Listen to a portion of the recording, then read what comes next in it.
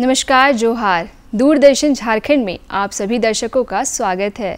मैं हूँ आकांक्षा चौधरी और आप देख रहे हैं रोज़गार समाचार। जैसा कि इस कार्यक्रम का नाम है, वैसा ही हमारा उद्देश्य भी है कि हम आप सभी दर्शकों को रोज़गार से संबंधित कुछ जानकारियाँ दें, जो केंद्र और राज्य सरकार द्वारा आमंत्रित की जाती है। तो इसी के साथ आइए जानते हैं आज की कुछ विज्ञप्तियों के बारे में। आज की पहली विज्ञप्ति है छत्तीसगढ़ पुलिस विभाग से। यहाँ कांस्टेबल जीडी ड्राइवर ट्रेड की पदों की भर्तियों के लिए ऑनलाइन आवेदन आमंत्रित किया गया है जिसमें कुल पाँच हज़ार नौ सौ सड़सठ भर्तियाँ जारी की गई है। इन पदों के लिए शैक्षणिक योग्यता की अगर बात करें तो दसवीं पास अभ्यर्थी आवेदन कर सकते हैं। वहीं आवेदन के लिए आयु सीमा न्यूनतम 18 वर्ष और अधिकतम 28 वर्ष तय की गई है। अभ्यर्थियों का चयन पीईटी, पीएसटी, ट्रेड टेस्ट और लिखित परीक्षा के आधार पर किया जाएगा। जहाँ चयनित अभ्यर्थियों का वेतनमान उन्नीस हज़ार पाँच सौ रुपये से बासठ हज़ार रुपये निर्धारित होगा। आवेदक 30 नवंबर 2023 तक आवेदन कर सकते हैं। अधिक जानकारी प्राप्त करने के लिए आप इसकी ऑफिशियल वेबसाइट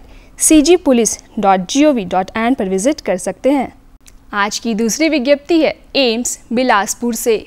यहाँ फैकल्टी ग्रुप ए के कई पद जैसे professor, additional professor, associate professor, assistant professor की भर्तियों के लिए ऑनलाइन व ऑफलाइन दोनों माध्यम से आवेदन आमंत्रित किया गया है, जिसमें कुल इक्यासी भर्तियाँ निकाली गई है। बात करें आवेदन के लिए शैक्षणिक योग्यता के बारे में तो ये पद अनुसार विभिन्न हैं। वहीं आवेदक की आयु सीमा अधिकतम 50 व अंठावन वर्ष तय है।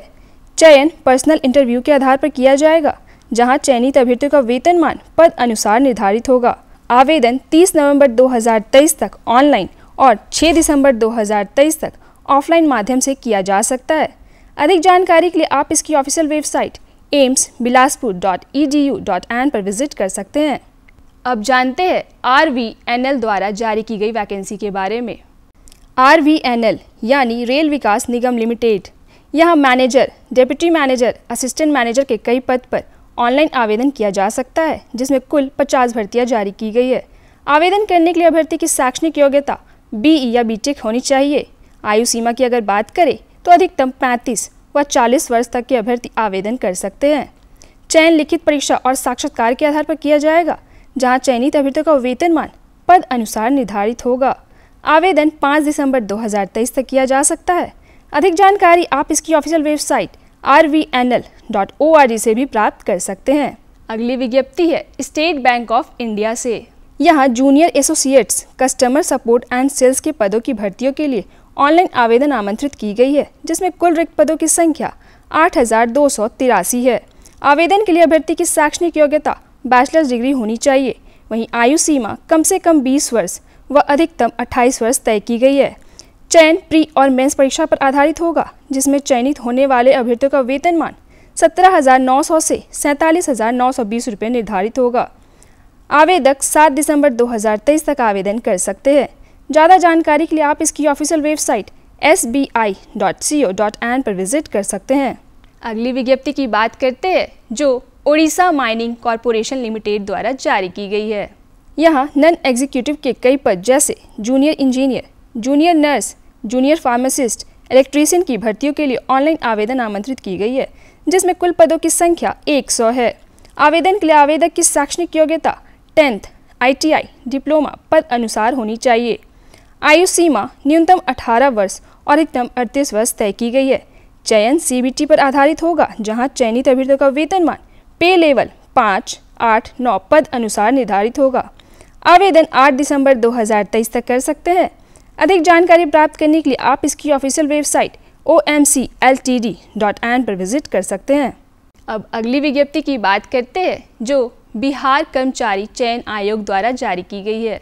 यहाँ निम्न वर्गीय लिपिक फाइलेरिया निरीक्षक, राजस्व कर्मचारी, पंचायत सचिव एवं अन्य पदों की भर्तियों के लिए ऑनलाइन आवेदन आमंत्रित किया गया है, जिसमें कुल बारह हज़ार एक सौ निन्यानवे भर्तियाँ निकाली गई है। इसमें आवेदन के लिए आवेदक की शैक्षणिक योग्यता इंटरमीडिएट या समकक्ष होनी चाहिए।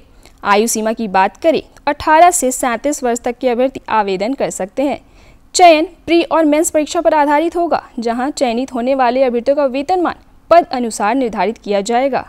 आवेदन 11 दिसंबर 2023 तक किया जा सकता है।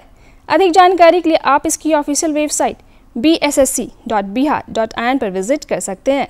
अब जानते हैं R R C North Central Railway द्वारा जारी की गई वैकेंसी के बारे में। यहाँ अप्रेंटिस के लिए ऑनलाइन आवेदन आमंत्रित किया गया है, जिसमें कुल एक हज़ार छह सौ संतानवे भर्तियाँ निकाली गई है।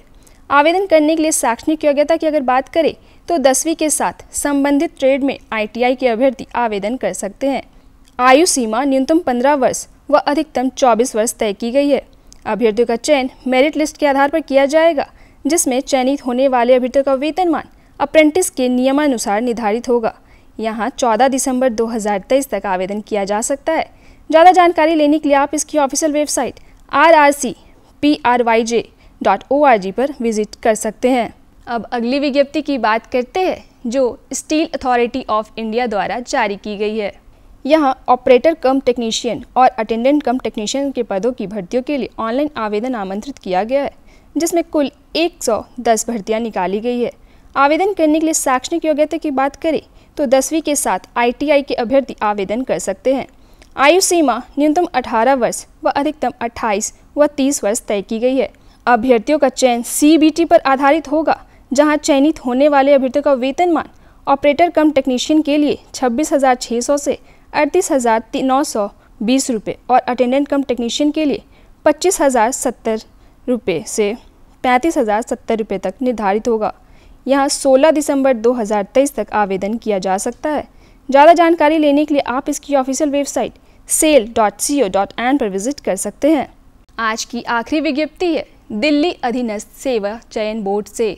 यहाँ नन टीचिंग के कई पद जैसे jail warder manager, assistant selection officer lab attendant assistant superintendent matron एवं अन्य पदों की भर्तियों के लिए कुल आठ सौ तिरसठ भर्तियाँ निकाली गई है।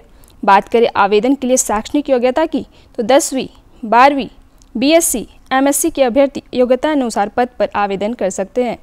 वहीं आयु सीमा और वेतनमान पद अनुसार अलग अलग निर्धारित है। आवेदन 20 दिसंबर 2023 तक किया जा सकता है। अधिक जानकारी के लिए आप इसकी ऑफिशियल वेबसाइट एन पर विज़िट कर सकते हैं। ये थी वैकेंसी से जुड़ी कुछ जानकारियाँ, जो केंद्र और राज्य सरकार द्वारा आमंत्रित की जाती है। ऐसे ही अन्य जानकारियों के लिए देखते रहे रोज़गार समाचार। साथ ही कोई विचार आप हमारे साथ साझा करना चाहते हैं तो आप हमारे यूट्यूब चैनल डी झारखंड को सब्सक्राइब कर सकते हैं और उसके कमेंट सेक्शन में जाकर आप अपने विचारों को लिख सकते हैं। वैकेंसी से जुड़ी अधिक जानकारी के लिए प्रकाशन विभाग द्वारा प्रकाशित साप्ताहिक पत्रिका, रोज़गार समाचार भी पढ़ सकते हैं। आज के लिए बस इतना ही। मुझे दीजिए इजाज़त। धन्यवाद।